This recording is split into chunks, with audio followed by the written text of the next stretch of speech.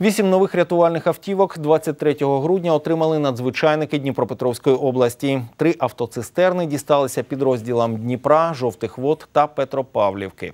Рятувальники кажуть, що можуть перевозити 8 тонн води, які призначені в першу чергу для гасіння пожеж в безводних районах та на бездоріжжі. До того ж, від Держагентства інфраструктурних об'єктів рятувальники отримали 5 нових автомобілів для усунення наслідків ДТП. Автомобілі сучасні, повністю укомплектовані аварійно-рятувальним обладнанням, яке дає змогу в найкоротший термін вивільнити пострадавшого з автомобіля і зробити всі необхідні роботи по ліквідації цієї дорожньо-транспортної пригоди.